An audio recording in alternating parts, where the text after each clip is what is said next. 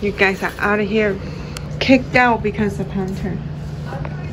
Getting kicked out of this apartment because of that guy, Hunter. In a day we have to find housing. We had to find a house by today. Thanks to JJ right there and my parents to make this happen because it was very tough. We are going to the new place. This was where they were staying at. But uh, yeah, let's go. Mm, time to move. እሺ ይኸው አዲሱ ቦታ እንደዚህ ነው የሚመስለው።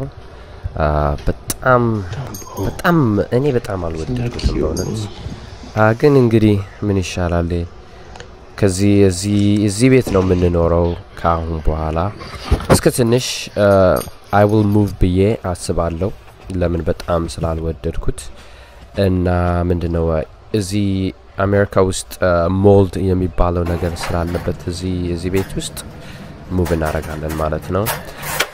ጄሚ ቤት ገብተን የእነሱን እቃዎች ምናምን ይዘን መጣን። ከዛ በኋላ ቤቱን አስተካከልን። ትንሽ ትንሽ ያስቀመጥ ነው እንደዚህ እንደዛ ወደዚህ ወደዛ። ግን ቤቱ በጣም ነው የሚያስፈራው በእውነት ይሄኛው አዲሱ ቤት በቃ በጣም የተሰባበረ ነገር ነው። ግን እንግዲህ እግዚአብሔር ይመስገን ሁሉም ነገር ሰላም ነው። የእነሱን እቃው ምናምን አስተካክለ አስተካክለንላቸዋለን። በለው የኔ አማርኛ ደግሞ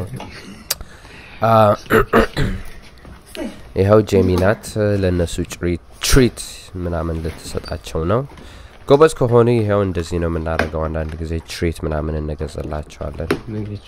um፣ ግን ቦታውን ላሳያችሁ ትንሽ ትንሽ ቀስ ብዬ እዚህ ውስጥ ማን እንደሚኖር እኔ እንጃ። ግን በስማም የተሰባበረ ያበደ ቤት ነው እዚህ ውስጥ እቃው ምናምን በቃ everywhere ነው። ገባችሁ? በስር እንዴት እንደሚኖሩ እኔ እንጃ። በሩም አይዘጋም። በቃ የተሰበረ በር የተሰበረ በር ነው በር በር ነው የሚባለው እና hall ኡም በጣም የሚያንቋንቋ በጣም የሚጮኸው hallway ነው እና በቃ ሁሉም ነገር everything is everywhere በቃ የዝ እንዳልኩኝ እቤት ስላለ እናመሰግናለን። እግዚአብሔር ይመስገን በጣም እናመሰግናለን።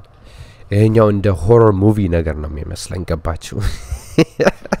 በጣም ነው የሚያስፈራው በእውነት ቆለፍ እናርጋትና አያይ እስማም ይኸው ውሾቼ ደግሞ ወረኑ እያልኩኝ እየጠራዋቸው ነው። ፈራው። ስለዚህ አብራችሁ አብረን ይሄኛውን ቦታውን እናሳያችሁ ብዬ ከዛ በኋላ ደግሞ ዞርልና እዚህ ምንድነው ይሄኛውን በር ከፍተን ስናየው ይሄኛውም ያበደ ነው። አይ window ም የተሰበረ ሁሉም በቃ ትንሽ ትንሽ የተሰባበረ ነገር ነው። couch ኡም በጣም ያልተስተካከለ ነው። በጣም bad review ነው የምሰጠው በእውነት ይሄኛው Airbnb የሚባል ቦታ ነው ባለ ወይ እዚህ የምኖረው ለአሁን ለአንድ ለአንድ ወር ከዛ በኋላ ደግሞ አዲስ ቦታ አገኝና እዛም ዞር ብዬ እዛ ነው የሚገባው። ያኛው ይሄኛው በጣም ስለማልወድ አዲሱን ቦታ ከወደድኩኝ እዛ ነው የምቀመጠው እስከ ፊላደልፊያ አማርኛ until we move ማለት ነው። after ፊላደልፊያ ዲሲ ነው የምንገባው። እልል በሉ በጣም ብዙ ሀበሻ ጓደኞቼ አገኛለሁ ብዬ? አስባለሁ።. አዎ እንግዲህ ቀስ እያለን. እንኖራለን። ቦታውን አስተካከለችልኝ የኔ ፍቅር። ከዛ በኋላ ደግሞ እሷ ትምህርት ቤት ሄደች በጠዋቱ እኔ ተነሳው ትንሽ በቃ ቦታው ምናምን ትንሽ ትንሽ አስተካክልኩት።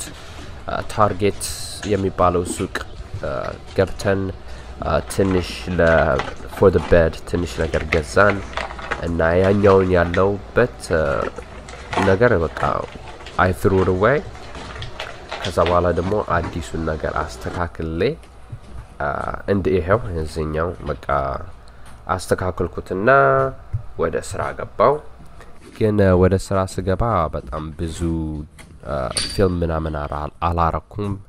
ለምን በቃ ብዙ confident ምናምን ስለሌለ አሁን ግን በኋላ daily vlog አረግላችኋለሁ ብዬ አስባለሁ።